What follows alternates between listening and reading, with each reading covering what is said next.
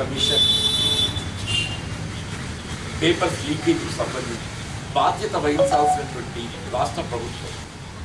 అంటే పూర్తిగా బాధ్యత రాహిత్యంగా ఇలా అసలు ప్రభుత్వానికి అదే సంబంధం లేని అంశం అనే విధంగా ఇలా రాష్ట్రంలోని లక్షలాది నిరుద్యోగ యువత ఆందోళన గురి చేస్తూ వారి జీవితాలతో చెలగాటాలాడుతున్నటువంటి ఇప్పుడు మొత్తం రాష్ట్రంలోనే కాకుండా జాతీయ స్థాయిలో ఇది ఏ తెలంగాణ పబ్లిక్ సర్వీస్ కమిషన్ అదొక రాజ్యాంగ వ్యవస్థ స్వయం ప్రతిపత్తితో కొనసాగుతున్న అందులో ఏదో ఒక వ్యక్తి తప్పు చేసినంత మాత్రాన పూర్తి వ్యవస్థ కట్టగట్టడం సరైనది కాదు అని చెప్పని పేర్కొనడం చూస్తుంటే ఇంకా ఆశ్చర్యంగా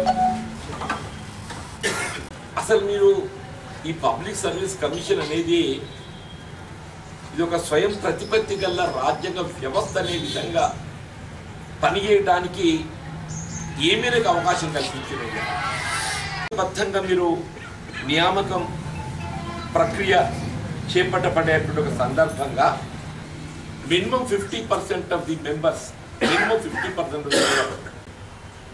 with not lesser than rank of revenue officers.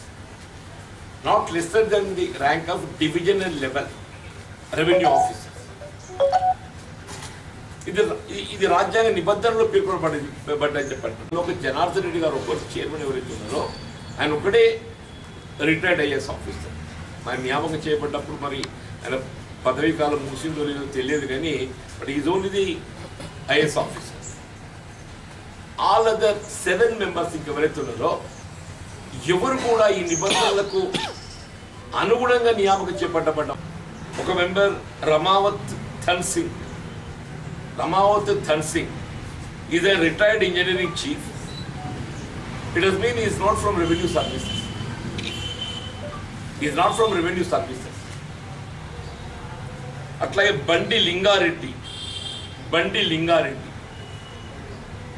వారు ఏదైతుందో was a professor in private engineering college was a professor in private engineering college it is mean is also not from revenue department Sumitra Anand Tanoba.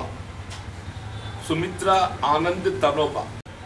Grade two Telugu pandit grade two Telugu pandit grade two Telugu pandit అంటే SGT grade two Telugu pandit అంటే SGT she also not from revenue service Karam Ravinder Reddy Karam Ravinder Reddy of course is from revenue services but only with the rank of deputy tahsildar RM Ravinder Reddy ఆయన revenue services కెళ్ళి ఉన్నప్పటికీ కూడా కేవలం deputy తహసీల్దార్ ర్యాంక్తో మాత్రమే బాధ్యతను నిర్వర్తించాడు not at the level of revenue division sir one state service services that is the revenue services అదే Indian administrative service recruitment define state services clear clear ఇచ్చారు అంటే మీరు పబ్లిక్ సర్వీస్ కమిషన్ మెంబర్స్ నియామకమే మీరు రాజ్యాంగ నిబంధనలకు అనుగుణం చేపట్టబడడం జరగాలి వాళ్ళు ఎట్లా స్వయం ప్రతిపత్తితో వాళ్ళు బాధ్యతలు నిర్వర్తించగలుగుతారు అనేది ఒకసారి మనం ఆలోచించాలని చెప్పండి. ఇప్పుడు నేను పేర్కొన్నది ఏదైతుందో this was this is question in the high court this is question in the high court వీళ్ళ వీళ్ళ సభ్యత్వ నియామకానికి సంబంధించి రాష్ట్ర అత్యున్నత న్యాయస్థానం హైకోర్టుది ప్రశ్నించబడ్డది. Writ petition number one not four of twenty twenty one WP bill number one zero four of twenty twenty one ఏమికి ఇది? దాన్ని పెట్టేసాం వాట్సాప్లో పెట్టారు దీని ఆర్గ్యుమెంట్స్ అయినాయి. జడ్జిమెంట్ ఈజ్ రిజర్వ్ ఉన్నాం. ఇందులో ఆర్గ్యుమెంట్స్ అయినాయి. జడ్జిమెంట్ ఈజ్ రిజర్వ్ ఉన్నాం. ఈ యొక్క ఈ సభ్యుల నియామకం సంబంధించి అంటే ఏ లక్ష ఇరవై వేలు ఉద్యోగాలు ప్రమోషన్ల ద్వారా భర్తీ చేయగలిగితే కింది స్థాయి ఉద్యోగి పైకి ప్రమోషన్ పోతే కింది స్థాయి ఉద్యోగం ఖాళీ ఏర్పడుతుంది కదా. మీరు లక్ష ఇరవై వేలు ఉద్యోగాలు ఏదైతుందో సపోజ్ సీనియర్ అసిస్టెంట్ ఖాళీ ఉంటే జూనియర్ అసిస్టెంట్ సీనియర్ అసిస్టెంట్గా పదోన్నతి పొందితే జూనియర్ అసిస్టెంట్ పోర్ట్ ఖాళీ ఏర్పడుతుంది సీనియర్ అసిస్టెంట్ ఏఎస్ అసిస్టెంట్ సెక్రటరీగా ప్రమోషన్ పొందితే ఆటోమేటిక్ ఏదైతుందో సీనియర్ అసిస్టెంట్ ప్రమోషన్ ఖాళీ ఏర్పడుతుంది వీళ్ళు ఈ ఎనభై వేలు ఉద్యోగాలైనా కనీసం ప్రత్యక్షంగా నియామకం చేయగలిగే అవకాశం ఉన్న ఎనభై వేలు ఉద్యోగాలనే అన్నా. సత్వరమే నియామక ప్రక్రియ చేపట్టబడడం జరుగుతుందని చెప్పని ఇవాళ ఇరవై రెండు మార్చ్ ఇరవై రెండు ఇరవై రెండు వేల ఇరవై రెండు మార్చ్ శాసనసభ బడ్జెట్ సమావేశం సందర్భంగా గౌరవ ముఖ్యమంత్రి గారు ఈ ఎనభై వేల నియామకాలు తక్షణమే చేపట్టబడడం జరుగుతుందని ఆయన పేర్కొని సంవత్సర కాలం గడిచింది. ముఖ్యమంత్రి గారు ఏదైతే ఎనభై వేలు ఉద్యోగాలను భర్తీ చేస్తానని చెప్పని చెప్పి పేర్కొన్నాడో పేర్కొని సంవత్సర కాలం గడిచింది. ఇంతవరకు ఒక పోస్ట్ భర్తీ చేయలేదు. సంవత్సర కాలం గడిస్తే ఇంతవరకు ఒక్క పోస్ట్ భర్తీ చేయలేదు. వీళ్ళు పబ్లిక్ సర్వీస్ కమిషన్ సంబంధించి పదిహేడు వేల ఉద్యోగాల భర్తీకి నోటిఫికేషన్ ఇచ్చింది. ఇదే జనార్దన్ రెడ్డి గారు చెప్పారు ఇదే జనార్దన్ రెడ్డి గారు చెప్పిండు. నేను పదిహేడు వేల ఉద్యోగాల భర్తీకి ఏదైతుందో నేను నోటిఫికేషన్ ఇచ్చి నేను. గత ఏడు సంవత్సరాలలో మొత్తం తెలంగాణ రాష్ట్ర ప్రభుత్వం పబ్లిక్ సర్వీస్ కమిషన్ ఏర్పడ్డ నాటి నుండి కేవలం ముప్పై ఏడు వేల నోటిఫికేషన్ మాత్రమే వచ్చినాయి. నేను వచ్చినాక ఇంకా పదిహేడు వేలు ఇచ్చిన అని చెప్పని చెప్పుకుంటా. అంటే మొత్తం రాష్ట్రంలో ఏడు సంవత్సరాలలో ముప్పై ఏడు వేల పోస్టుల భర్తీకి మాత్రం నోటిఫికేషన్ జారీ చేయబడ్డది. ఆయనే చెప్పిండు. ఈయన వచ్చినాక పదిహేడు వేల ఉద్యోగాల భర్తీకి నోటిఫికేషన్ ఇచ్చినా అని చెప్పని చెప్పిండు. కానీ అందులో ఒకటి కూడా భర్తీ కాలేదు. ఒకటి కూడా భర్తీ కాలేదు.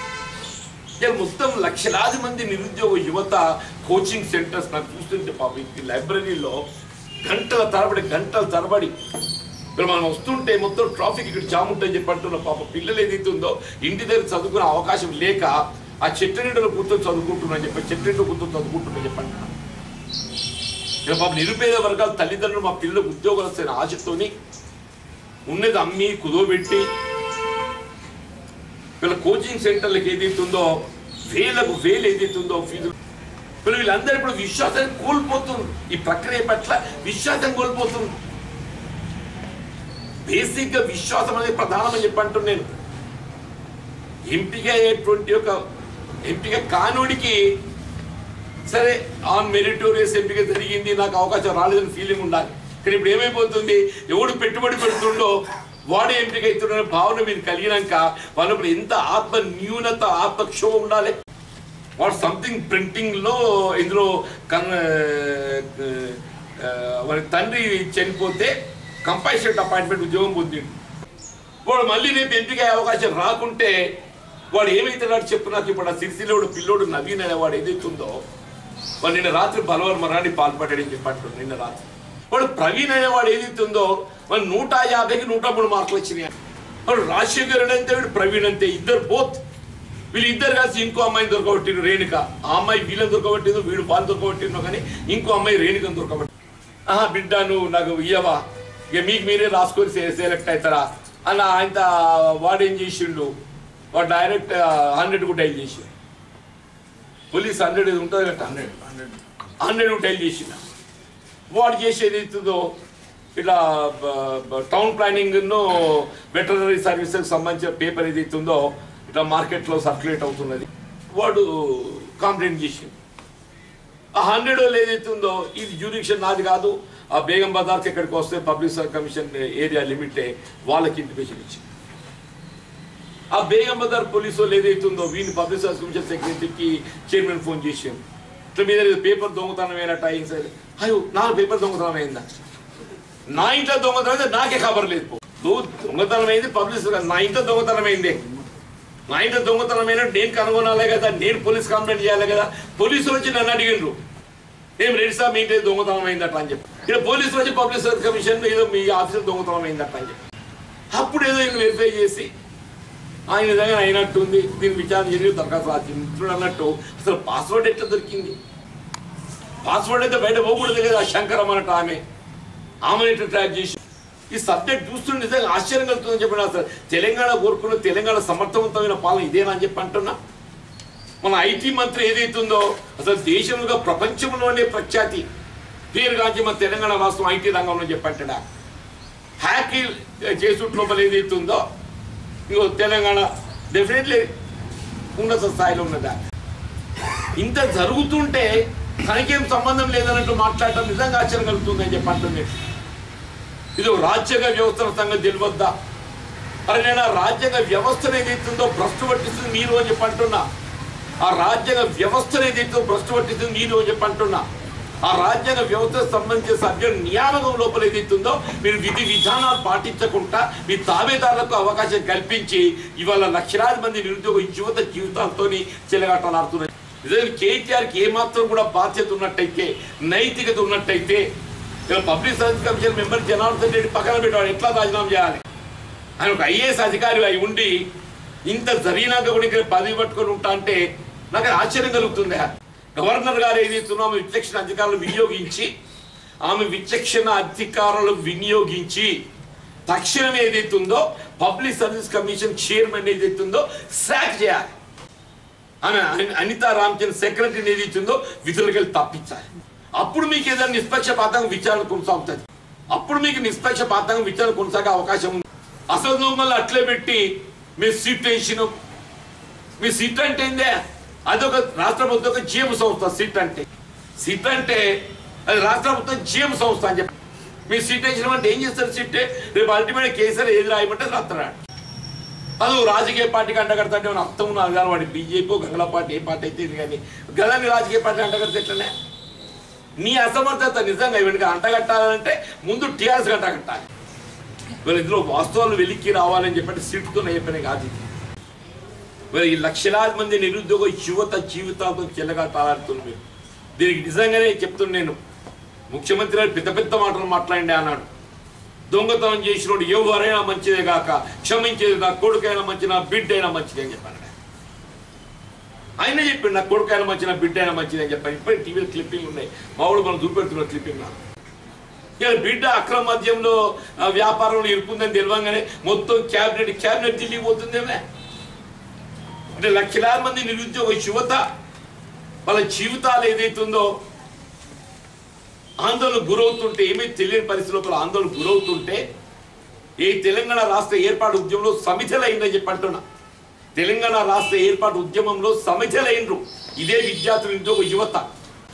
వాళ్ళ జీవితాలు ఇవాళ ఏదైతుందో ఇంత ఆందోళనకు గురవుతుంటే వాళ్ళ గురించి ఆలోచన లేకుండా అయ్యో నా బిడ్డ అక్రమసార వ్యాపారం విచారణ ఎదుర్కొంటుంది. పోయింది పోయింది అందరు బార్రా పార్రా ఊరుకుర్రా ఊరుకుర్రా. గురి అమ్మ. మొత్తం క్యాబినెట్ క్యాబినెట్ ఢిల్లీ ఏం చేస్తారు వీళ్ళు అక్కడ? మరి ఆ ఈడీ ఏం చేస్తుంది అది తెలియదు ఆయన చెప్పంటు నేను ఇదో ఒక పెద్ద బాగుతాం. ఒక సాధారణ పౌరుడికి నా ఆరోపణ వచ్చినట్టయితే మరి చట్టం అనేది ఒకటి ఉంటాయి చెప్పంటుండే ఆ లిక్కర్ పాలసీకి సంబంధించినట్టుగా క్రూషియల్ సమావేశం ఏది జరిగిందో అందులో పాల్గొన్నావా లేదా? పాల్గొన్న పాల్గొన్నా లేకుండా పాల్గొనలేదు నాకు సంబంధం. అవును నేను సారా వ్యాపారం చేసి తప్పే ఉందంట చెప్పు అయిపోతే వెళ్ళి ఉందంట మేము have not influence the state government of Delhi. మేము రాష్ట్ర ప్రభుత్వాన్ని ఏ విధంగా కూడా మేము ఇన్ఫ్లుయెన్స్ చేయలేదు. బట్ మేము ఆ సారా వ్యాపారం చేసినాం. చెప్పు తప్పే ఉందంట మనంత శ్రీనివాస్ రెడ్డి సారా వ్యాపారం ఉన్నది. నేను కూడా ఇంకా నాలుగు రూపాయలు ఎక్కువ సంపాదించాలని చెప్పి సారా వ్యాపారంలో భాగస్వామి నేను. తప్పే ఉందంట అదే చెప్పు సక్క మరి. ఆయన దానికి అది చెప్పక అసలు నోరు తెరవకుండా ఏ పేపర్లో కథలు రాయాలి మనం చదువుకోవాలి పొద్దున్న లేచి. అదంతా పోనీ గంగల పెట్ట అది- అదేమన్నా కానీ కానీ ఈ విద్యార్థుల జీవితాలతో చెలగాటాలని అక్కడ దయచేసి చెప్పండి. జనార్దన్ రెడ్డి గారు మీకు ఏమైనా నైతికత ఉన్నట్టయితే తక్షణం ఏదైతుందో నీకు నైతికత నువ్వు రాజీనామా చేయి అదర్వైజ్ గవర్నర్ ఏదైతుందో ఆయన శాఖ చేయాలంటున్నాయి పదవికి తొలగింప చేయాలని చెప్పి అంటున్నాను ఆమె అనితా రామచంద్ర విధులు తప్పించాలని చెప్పి ఇవాళ మొత్తం ఈ విద్యా నిరుద్యోగ యువతకు సంబంధించిన కోచింగ్ సెంటర్స్ వాళ్ళందరికీ రాబోయేటువంటి ఆరు మాసాలు ఏదైతుందో ఉచితంగా కోచింగ్ ఇచ్చే విధంగా మీరు కోచింగ్ సెంటర్స్ ఆదేశాలు జారీ చేయండి. వాళ్ళు ఏ విధంగా మీరు మెప్పిస్తారో మెప్పియండి ఇక్కడ మూడు డిమాండ్స్. ఒకటి Janardhan Reddy either he must resign owning moral responsibility owing moral responsibility or he must sack Anitha Ramachandra విధులకు తప్పించాలి. కేటీఆర్కు నైతికత ఉందా లేదో నాకు తెలియదు. ఆయనకి ఏమాత్రం విజ్ఞత ఉన్నట్టయితే తప్పుకుంటాడు. అని నేను ఆయన కోరి అంత పెద్ద మనిషిని కాదు. ఇలా మొత్తం నిరుద్యోగ యువతకు ఏదైతుందో ఇలా తెలంగాణ పబ్లిక్ సర్వీస్ కమిషన్లో ఎన్రోల్ అయినటువంటి వారికి అందరికీ మూడు వేల పదహారు రూపాయలు నీ లెక్కన అందరికి తక్షణ నిరుద్యోగ వృత్తి ఏప్రిల్ ఫస్ట్కి లేదు ఇప్పియండి ఇలా మొత్తం విచారణ ఒక సిట్టింగ్ హైకోర్టు జడ్జి ఒక సిట్టింగ్ హైకోర్టు జడ్జి ఆధ్వర్యంలో చేపట్టబడేవి పర్యవేక్షణ చేపట్టబడే విధంగా.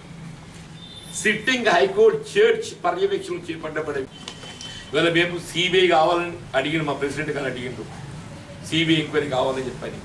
మరి సిబిఐ ఎంక్వైరీ అడిగేంత ధైర్యం రాష్ట్ర ప్రభుత్వానికి లేదు. నువ్వు అడిగితే నీ నీ నీ కొంత నీతి నిజాయితీ బయటకు వస్తుంది.